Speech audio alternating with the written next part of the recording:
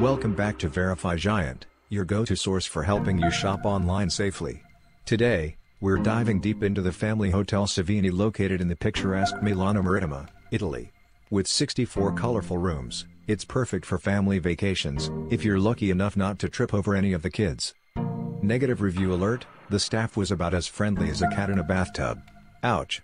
But fear not, some guests did mention that the crew brightens up when they're not busy. Most appreciate the attempts to keep the kids entertained, which is a must in family-friendly hotels.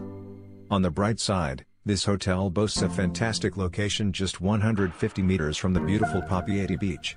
So, if you make it past the front desk, you might just find yourself sunbathing with a gelato in hand. Moving on to amenities, this place has an all-inclusive setup that includes access to a swimming pool with a water slide. Yes, you heard me right, a slide. But let's hope the lifeguard isn't as busy as the front desk staff. And now for the food, oh glorious food. Being in Italy, expect to feast on pasta, pizza, and gelato, basically, the holy trinity of Italian cuisine. However, one guest lamented, if I wanted pizza that tastes like cardboard, I'd just go home. So, take that as a warning. Let's break down the scores. Location, 7 out of 10. Proximity to the beach is A+, but it feels like a game of Frogger trying to cross the road. Room quality, 6 out of 10. Cleanliness is decent, but some rooms need a little sprucing up.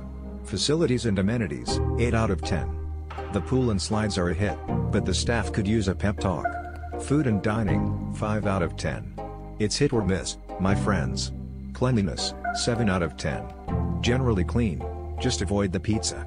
Wi-Fi and connectivity, 6 out of 10. It works, but don't expect lightning speed. Price, 6 out of 10. It's reasonable, but you might want to keep your wallet close. Security, 8 out of 10. You'll feel safe, at least from the pizza. Total score, 53 out of 80. So is it worth it? Not really, it's a maybe if you're desperate for a family trip.